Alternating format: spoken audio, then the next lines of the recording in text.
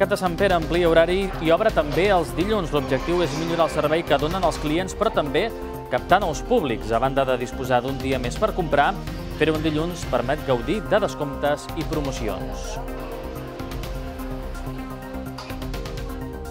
Bona nit. Avui, com cada dilluns, tenim l'espai dels esports força tapeït. Els explicarem com va anar a la gala de la nit de l'esportista, que es va celebrar divendres. El Premi Gros el van dur Sarai Gascon, encara que el guardó el va recollir, com veiem en aquestes imatges, el seu pare. La gala no va estar exempta de polèmica pels acudits de Jordi Alapé, que alguns van trobar ofensius.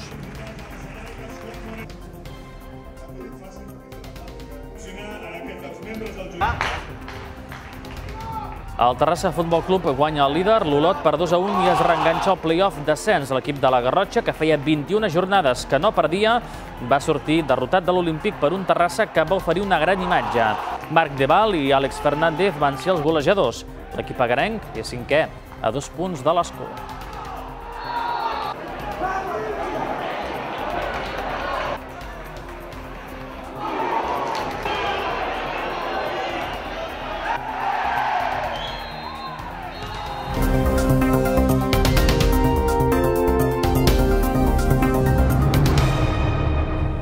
El comerç sovint s'ha d'adaptar als canvis que es produeixen en el consum. És el que ha fet el Mercat de Sant Pere, que ara també obre els dilluns buscant un públic més jove, incentivant-lo amb descomptes. El Mercat de Sant Pere ha decidit obrir els dilluns en horari de 8 a 2 del migdia. L'objectiu és ampliar el servei que donen els seus clients i fer-ho amb un al·licient, perquè comprant dilluns té descompte entre un 10 i un 20%. La mesura, però, també pretén arribar a nous públics. La franja d'edat més jove, els caps de setmana, doncs, dediquen el seu temps lliure al tema de l'oci. I clar, el tema està que el, cap de, el dilluns, quan arriben a casa, doncs la nevera està buida.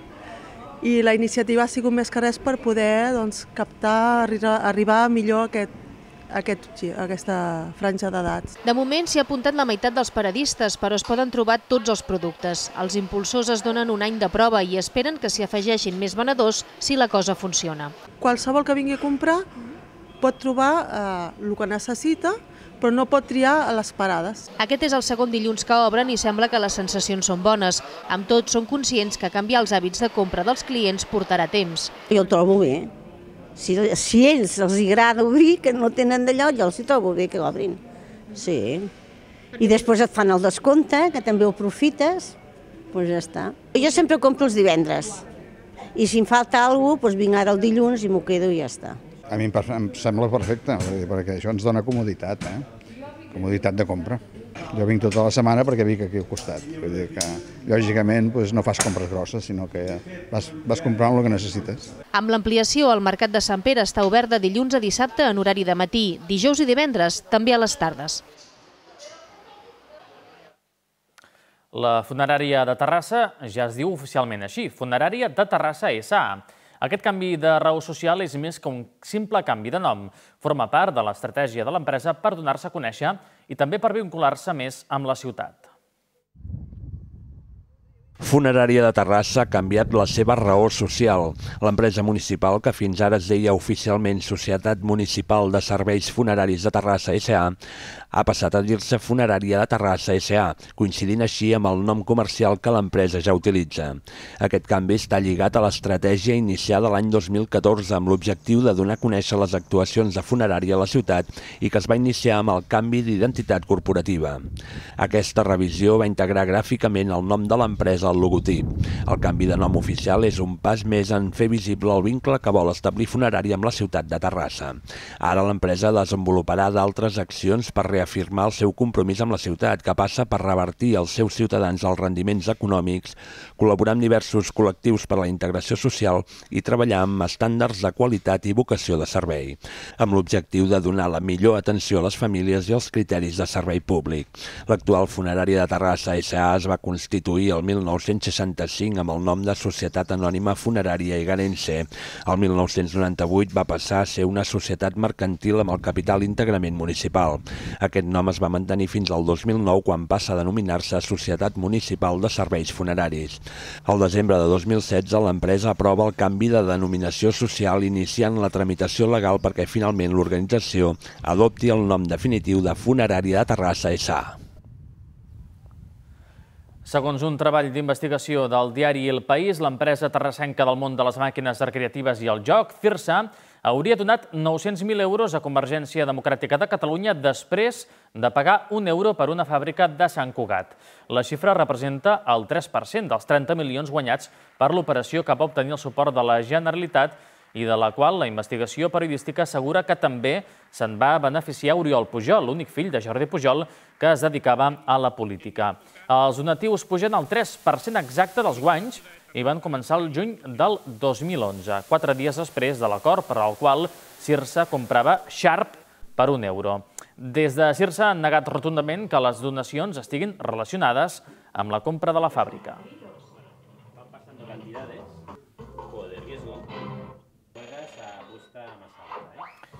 Els cossos de seguretat i emergència s'han trobat aquest dissabte al recinte firal. Ha estat, han estat una vintena els participants a la primera mostra solidària de seguretat i emergències de Terrassa. Organitzada pels Egara Cop Walkers, les donacions s'han destinat a dues associacions de malalties estranyes. Mossos d'Esquadra, bombers de la Generalitat, Guàrdia Civil, Policia Nacional i fins i tot l'Exèrcit de Terra s'han trobat aquest dissabte al recinte firal de Terrassa. Ha estat en motiu de la primera mostra solidària de seguretat i emergències organitzada pel grup de la Policia Municipal Egara Cops Walkers.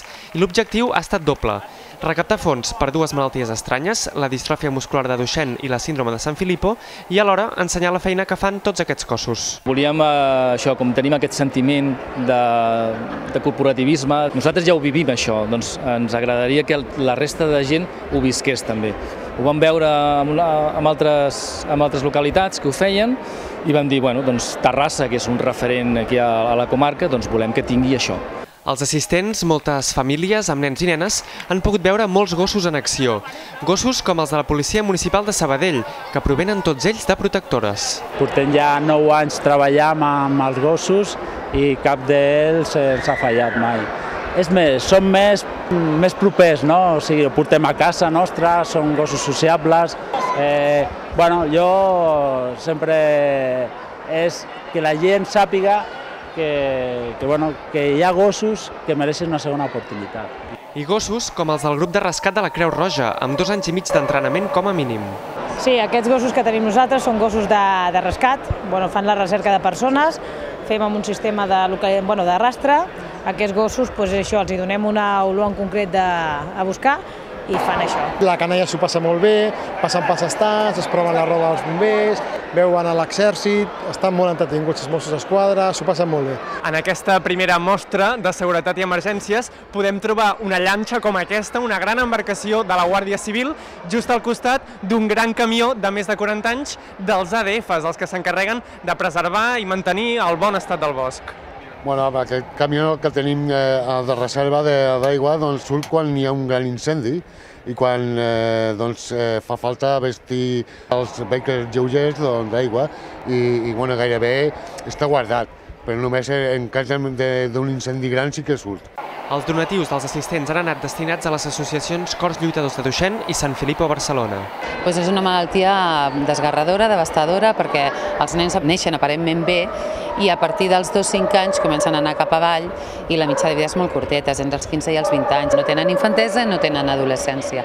Llavors, doncs res, estem aquí a veure si amb la teràpia gènica que ja hem demostrat als models animals que podríem curar-los i salvar la vida, doncs a veure si arribem a temps almenys també de poder salvar els nostres, no? que s'estan fent grans.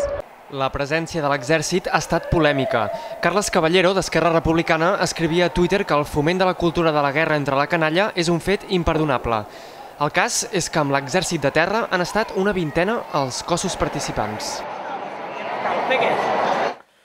El grup municipal d'Esquerra Republicana Moviment d'Esquerres ha debatut sobre el futur de l'educació a la ciutat. La segregació escolar, models educatius com el de l'Escola Mare de Déu de Montserrat o el paper dels ajuntaments en l'educació han estat alguns dels temes tractats en el debat celebrat a la Biblioteca Central. I, a més de amb el títol Educació, el futur de la ciutat, el grup municipal d'Esquerra Republicana Més ha posat sobre la taula aquest dissabte els reptes que Terrassa té en l'àmbit de l'ensenyament.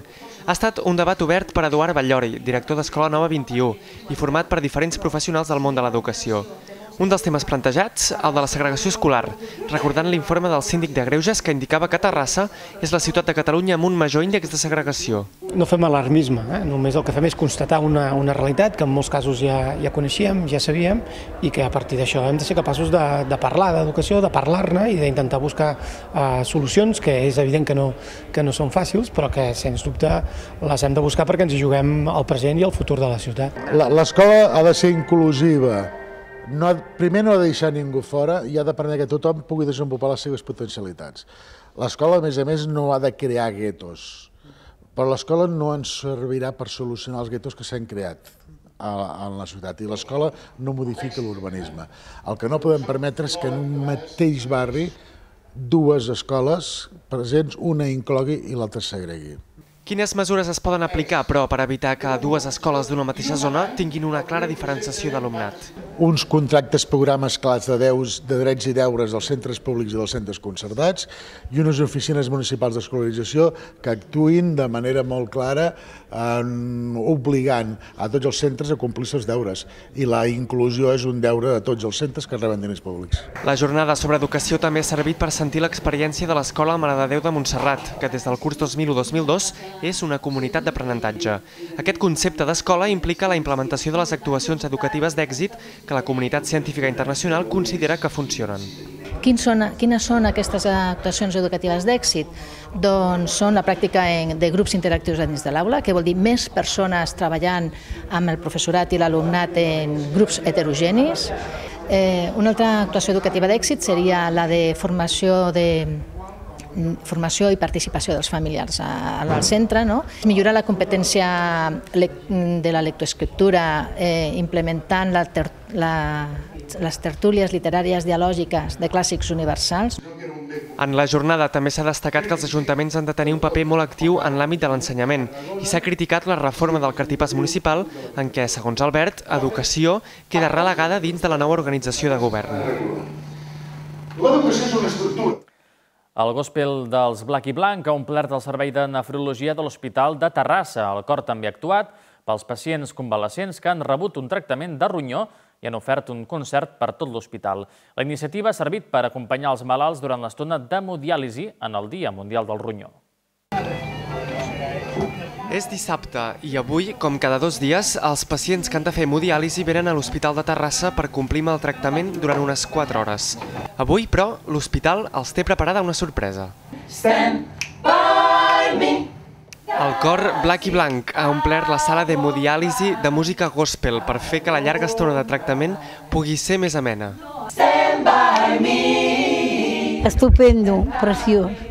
I que ojalà vinguéssiu més va molt bé per trencar la rutina, perquè aquí estem molt de rato ficats sense moure'ns i es fa llarg, es fa llarg i llavors que et vinguin algun dia amb una cosa així que està bé, no? que és maco, no? que, que cantin i a mi s'ha encantat molt bé, doncs m'ajuda que passi el rato una mica, una mica més ràpid, gràcies a Déu. I avui estava tota petxutxilla, ja ho saben les infermeres, però no, i ara, ara no, eh?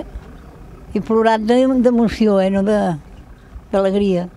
Una de les impulsores d'aquesta iniciativa és l'Ester, infermera del Servei de Nefrologia i alhora cantant dels Black Blanc. Una mica la iniciativa va sortir doncs, passant visita amb el doctor Esteve, que estava als vols de Nadal i així, pensant doncs, en alguna, de, de fer alguna coseta que, de, per trencar, no? per fer una mica diferent, perquè els malalts doncs, poguessin tenir un dia aquí diferent. I va sorgir la idea, uh, tu que estàs al món de la música, què et sembla, què podríem fer? Dic, ostres, doncs fantàstic perquè ho proposaré al cor, de poder venir. El Dia Mundial del Ronyó, que va ser el passat 9 de març, també serveix per parlar de les malalties renals cròniques. A Catalunya, cada any, més de 1.000 persones necessiten començar tractaments renals substitutius. Concretament, a l'estat espanyol s'ha calculat que fins a l'11% de la població té algun tipus de malaltia renal crònica.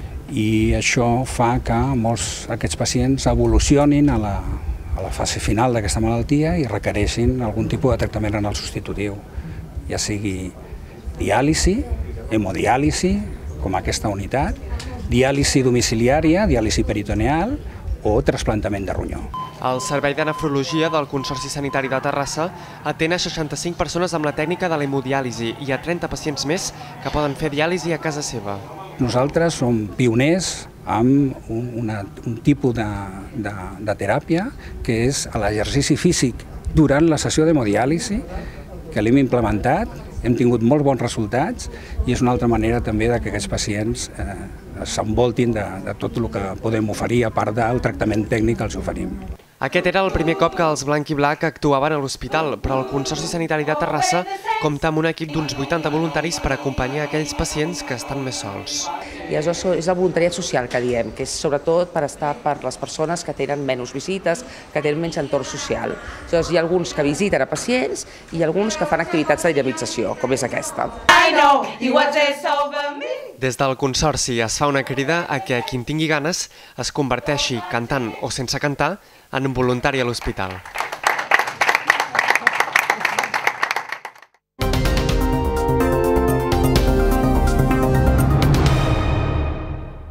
Sarai Gascon va guanyar divendres per tercer cop el Premi Esportista de l'any. Un premi, Joan, bona nit. Bona nit, Marc. Un premi merescut, vistos eh, els mèrits que ha fet la nedadora durant el 2016 amb una gran participació, sobretot als Paralímpics de, de Rio. No? Evidentment, ha estat clau per revalidar aquest eh, guardó en la gran festa de l'esport eh, terrassenc aquest premi de Sarai Gascon. Com deia, va revalidar divendres aquest guardó de millor esportista de Terrassa. Els èxits aconseguits als Jocs Paralímpics de Rio de Janeiro, on va sumar tres medalles de plata, van permetre a la nedadora fer-se amb el seu tercer guardó. El Club Natació Terrassa va ser l'altre triomfador de la gala. Sarai Gascon. La nedadora del Club Natació Terrassa, Sarai Gascon, ha estat escollida aquest divendres com a millor esportista del 2016. La garenca revalida el guardó aconseguit l'any passat i suma la seva tercera distinció, després de la que ja va aconseguir l'any 2012. En aquests moments es troba a Oviedo per motius esportius i ha estat el seu pare qui ha recollit la distinció en la 42a edició del certamen Nit de l'Esportista Trofeu Lluís Francino i Riera, celebrat al Teatre Principal. El jurat ha tingut en compte els seus magnífics resultats en els Jocs Olímpics i Paralímpics de Rio de Janeiro. La Garenca va aconseguir tres medalles de plata, que sumades a les tres aconseguides a Londres 2012 i Pequín 2008, la converteixen en l'esportista local amb més metalls en una cita olímpica i paralímpica. A Rio, precisament, hi van participar sis nominats més al guardó més preuat d'aquesta gala. Sí, estic molt content, ja l'he dit a ella de que l'ha guanyat, està molt contenta i m'ha dit que eh, le agradeix a tot Terrassa, eh? està molt contenta que sempre l'estiguin apoyant en tot, perquè Terrassa ha estat sempre al costat d'ella eh? i està molt contenta, igual que jo, jo estic moltíssim. El Club Natació Terrassa ha estat un dels triomfadors de la Festa de l'Esport Terrassenc, ja que ha guanyat quatre guardons més.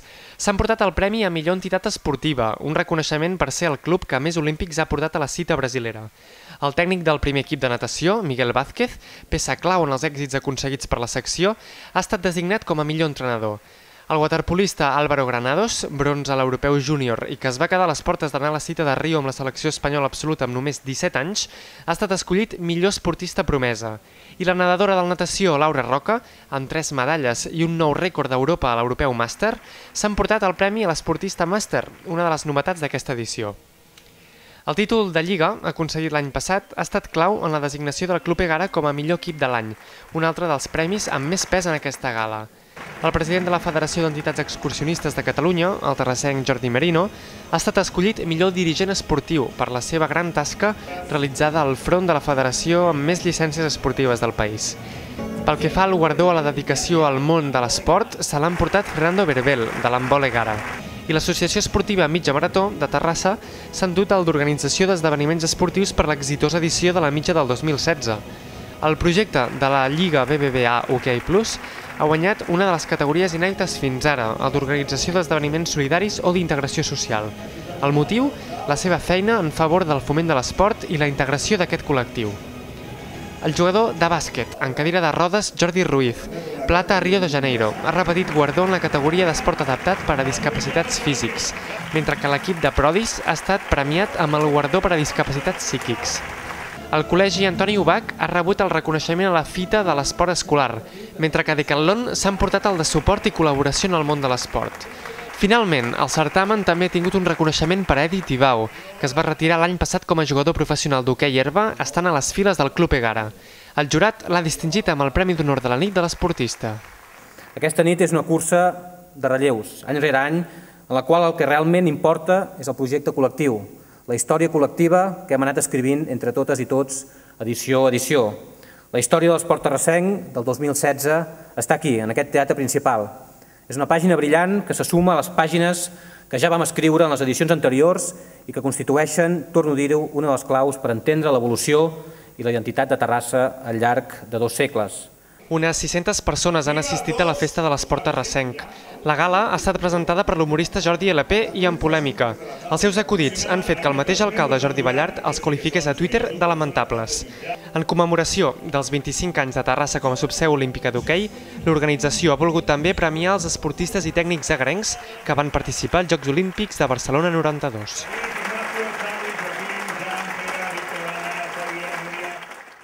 guardons a gent que s'ho ha merescut. Com els explicàvem, l'encarregat de, de conduir la gala d'aquesta nit de l'esportista va ser l'humorista Jordi LP. Els seus acudits, eh, però, van causar rebuig entre els assistents a l'acte i també entre l'organització que ha reaccionat amb un comunicat.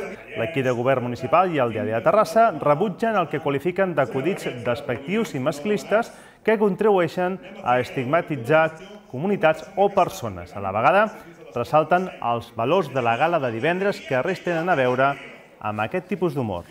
¡A que lo pongo a dos ruedas! Barat, a la costa italiana, que el Jordi Pujol deia... El Terrassa encara manté les esperances de poder jugar al playoff d'ascens. Quan ningú s'ho esperava, els d'Agustín Vaques van fer un dels millors partits de la temporada davant del líder l'Olot, a qui va derrotar per 2 a 1. Els usonencs trencaven així una ratxa de 21 partits consecutius sense conèixer la derrota. El Terrassa Futbol Club torna a reenganxar-se al play-off d'ascens. Quan ningú no s'ho esperava, davant la visita del líder indiscutible de la Lliga, l'Olot, els d'Agustín Vaques han sumat un important triomf per 2 a 1, que els deixa a només dos punts del quart classificat. Els agarencs han ofert una imatge molt diferent a la dels dos últims partits i han demostrat ser un equip gran contra un rival que feia 21 partits que no coneixia la derrota. Nils Puigades, que tornava a la titularitat, ha estat a punt de sorprendre Ginard. De fet, l'Olot no ha generat perill i ha estat en tot moment el Terrassa qui ha buscat més la porteria contrària. El gol, però, no ha arribat fins al minut 44, quan Marc de Val ha engaltat un fort xut des de la frontal per avançar el seu equip. El Terrassa ha continuat duent la iniciativa en el segon temps. Àlex Fernández ho ha provat de lluny, però Ginard ha estat molt encertat en la seva estirada, al igual que en un refús del defensa José, que a punt ha estat de marcar la seva pròpia porteria. Raillo en un contracop tampoc ha pogut superar el porter visitant. Se'n sumava el segon gol i aquest ha arribat en el minut 65, quan Àlex ha aprofitat una assistència de Joan Grasa. Semblava que el partit estava tancat, però Marc Mas, en una acció embolicada dins l'àrea local, ha donat emoció al partit.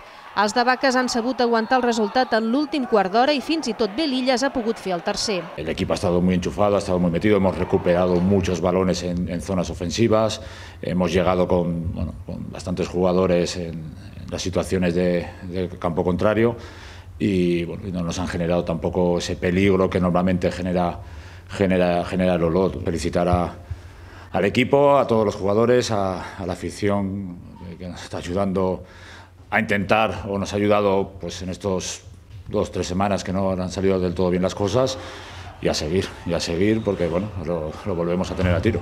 El Terrassa avança al Sant Andreu que dimecres jugarà el partit que té ajornat amb el Palamós i es torna a col·locar cinquè a només dos punts de l'Escó, rival que vindrà a l'Olímpic en dues setmanes.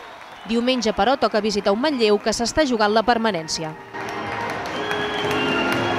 I en hoquei herba, el cap de setmana ens deixava la derrota de l'Atlètic al camp del Polo per 3 a 2, mentre que el Club Agara golejava el Taboriente per 9 a 1, superant així els groc i negres a la classificació. Per la seva banda, el Club de Polí Terrassa continua penúltim després de perdre amb el Club de Campo. L'Atlètic ha perdut 3 a 2 amb el Real Club de Polo en el partit més atractiu de la tretzena jornada de la divisió d'honor masculina i cau a la tercera posició, superat pel Club Agara. Els barcelonins, líders indiscutibles de la competició, s'han avançat amb un gol de Matías Rey en el segon quart, aprofitant un refús en un penal córner. Amb l'1-0 s'ha arribat al descans. A la represa, Lucas Vila feia el segon per als de Carlos García Cuenca i semblava sentenciar el partit, però els groc i negres han reaccionat. Dos gols en 3 minuts en l'últim període mitjançant Marc Voltó i Roc Oliva han permès als de Dani Martín somiar amb sumar un punt. Una diana d'Àlex Casasalles a 5 minuts pel final, però ha acabat donant la victòria al Polo. Per la seva banda, el club Agara ha golejat 9 a 1 al Taboriente, que ha pagat els plats trencats de la derrota ratllada a Santander de fa una setmana. Pau Quemada, autor de 5 dianes, ha avançat als de Sisu Ventalló, però Juan Gómez ha aprofitat una indecisió de la defensa local per empatar. Ha estat, però, un miratge, ja que els canaris, coers de la Lliga, s'han vist superats en tot moment per una gara que no ha donat opcions a la sorpresa. Al descans guanyava per 4-1, un marcador que s'ampliaria encara més en el segon temps amb 5 gols més. Sí, nosaltres teníem el pensament de la setmana passada, va ser un cop bastant important per nosaltres, més que res pels gols, pels, pels gols encaixats, i, i bueno, hem dit una mica de posar-nos com a objectiu de fer un partit complet, de guanyar. Sabíem que hi havia també doncs, altres partits que jugaven entre ells que perdien, perdien algun punt algun dels dos, i però sobretot volíem fer un partit complet, un partit complet que, que, que participés tothom i evidentment amb, amb la victòria. La Gara amb 27 punts és segon a 8 del líder, el Polo, mentre que l'Atlètic en té 26. El Club Deportiu Terrassa continua penúltim després de perdre 6 a 1 amb el Club de Campo.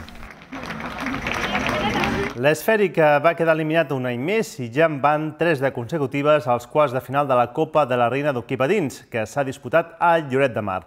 Va ser divendres davant el Manlleu per 4 a 3. El títol va viatjar cap a Sant Hipòlit de Voltregà.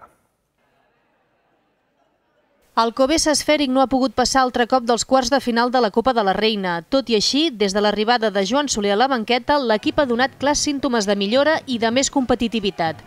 Va caure per 4-3, un partit que va remuntar dos cops, però que se li va escapar en una mala segona part, tal i com li va passar a Gijón fa una setmana.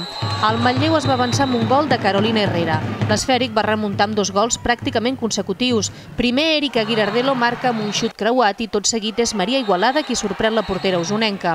El partit va seguir amb ocasions a una i altra porteria, però va ser el Manlleu qui aconseguiria empatar poc abans del descans mitjançant Gemma Soler. A la represa, les coses es van posar de cara per l'esfèric, amb un gol de Girardello al primer minut, però Gemma Soler de nou va igualar. El partit penjava d'un fil i qualsevol detall el podia decantar. Primer de la penya va ser providencial amb una magnífica aturada en una falta directa. L'ocasió la va tenir després l'esfèric, però Girardello estavella la bola al travesser. Decidiria un cop més Gemma Soler, que rubricaria el seu particular hat-trick amb una extraordinària acció i donant el gol de la victòria al Manlleu. Un Manlleu que cauria per 3 a 0 davant l'Hostelcur Gijón. La final entre les asturianes i el Voltregà resoldria a favor de les usonenques, que van guanyar 3 a 2 a la pròrroga, amb 3 gols de la MVP Adri Gutiérrez. I a la divisió d'honor femenina de waterpolo, el Club Natació Terrassa afrontava una doble jornada que cap de setmana i tots els partits van acabar amb derrota. Dissabte perdia a la piscina del Sant Andreu i diumenge a casa contra el Madrid Moscardó en partit ajornat. Tot i això, les terrassenques, sisenes, conserven alguna opció encara d'acabar en quarta posició que dona l'accés al playoff pel títol. El Club Natació Terrassa ha perdut una bona oportunitat aquest cap de setmana per agafar avantatge en la cursa molt disputada per al quart lloc que dona accés al play-off pel títol. L'equip de Xavi Pérez tenia doble jornada dissabte contra el Club Natació Sant Andreu i diumenge el partit ajornat a casa davant el Madrid Moscardó. A la piscina Pere Serrat, el Club Natació Terrassa es trobava contra un equip sobre el paper superior, però el que li va disputar molt al maig. La igualtat va ser la tònica dominant, acabant tots els quarts amb empat 2 a 2 al primer i al segon quart i 1 a 1 al tercer. Amb empat a 5 s'arribava a l'últim període on el Sant Andreu va aprofitar les jugades amb superioritat i va sentenciar el partit amb un 7 a 5 final. Diumenge el Club Natació Terrassa rebia a l'àrea olímpica un rival directe en la lluita pel quart lloc, el Madrid Moscardó. Les terrassenques es van moure altre cop en l'empat en els dos primers quarts. En aquesta cornisa les madrilenyes van jugar millor i Xavi Pérez era expulsat per protestar enèrgicament als àrbitres. Després de posar-se per davant 6 a 5, el Club Natació Terrassa es va quedar clavat al marcador i un parcial de 0 a 3 de les visitants deixaria un marge difícil de remuntar. Al final, 7 a 10. Ahir vam estar molt bé Sant Andreu, suposo que hem pagat una mica la fatiga del partit d'ahir, va ser un partit molt dur. Demà ens posem dos avall o un avall, fan el tercer i en quatre minuts era molt difícil, a més sense el Xavi tot era més difícil, ens quedem sense la Sierra, que és una jugadora important, i tot suma i se'n se fa una pujada que no, tot i aquestes dues derrotes, el Club Natació Terrassa manté serioses opcions d'assolir el quart lloc. És a només dos punts i en queden 12 per disputar. Haurem d'esperar la resta de partits d'aquesta divisió d'honor femenina mar per si el Terrassa pot tenir alguna opció d'entrar al playoff, tot i que és complicat perquè ara toca Mataró, Sabadell, els primers classificats de la Lliga i sí, és complicat. sempre que toca Mataró Sabadell has de comptar amb pocs punts o cap, pràcticament. Sí, sí, la veritat és que sí. Ens veiem divendres també amb més Copa, no? Sí, sí, perquè toca la Copa del Rei i de la Reina, però ara d'hoquei herba es fa a les instal·lacions del Júnior de Sant Cugat, tenim quatre equips terrassencs, dos en nois dues en noies, uh -huh. a la qual cosa veurem quines opcions tenen de, de passar. Veurem els quarts finals si han tingut opció de passar o no a semifinals. Ho veurem divendres. Gràcies, Joan. Vinga, adéu-siau. Bona nit. Bona nit.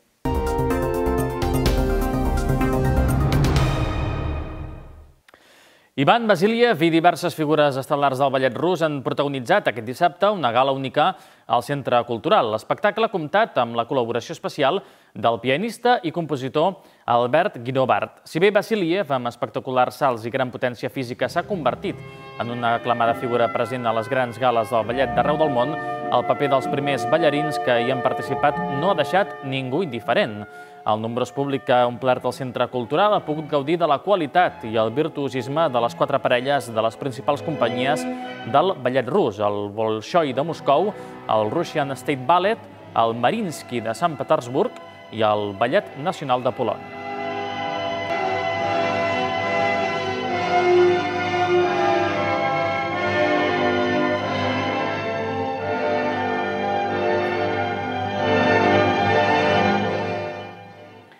Parlem ara d'aquesta casa, el programa d'entrevistes de Canal Terrassa al Quarto de Reixa arriba avui a l'edició número 100 i ho celebra amb una edició especial des de la galeria envitrallada modernista de la Casa Alegre de Sagrera. La convidada, també excepcional, és la Lluïsa Aubets, de 103 anys i que va llegir el pregó de la Festa Major de Terrassa del 2015. Precisament Lluïsa Aubets va viure molts anys a l'escala del costat de la Casa Alegre, on feia de portera.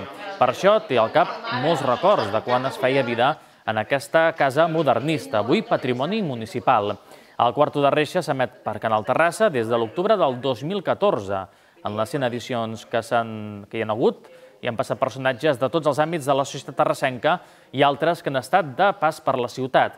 El programa 100 inclou un resum final amb els convidats que han passat pel programa, presentat per Quico Simó, el Quarto de Reixa s'emet els dilluns a les 9 i a les 11 de la nit i en diversos horaris la resta de la setmana. Agrada caminar. Quan vol, les notícies també se les llegeix, li agrada estar al dia de tot. La Nova Jascava ha estat l'escenari aquest diumenge de la presentació del nou treball de Pau Vallvé, titulat Abisme, cavall, hivern, primavera i tornar. Pau Vallvé ha tornat amb un disc doble amb 22 cançons, el 15è de la seva discografia i el quart signat sota el seu nom. Després d'haver fet una gira de 90 concerts amb el seu anterior disc, ara ha tornat als escenaris i ho ha fet amb una nova formació, amb un concert més elèctric i potent que mai. Amb imatges, doncs, de Pau Vallvé, acomiadem l'informatiu vespre d'avui. Bona nit.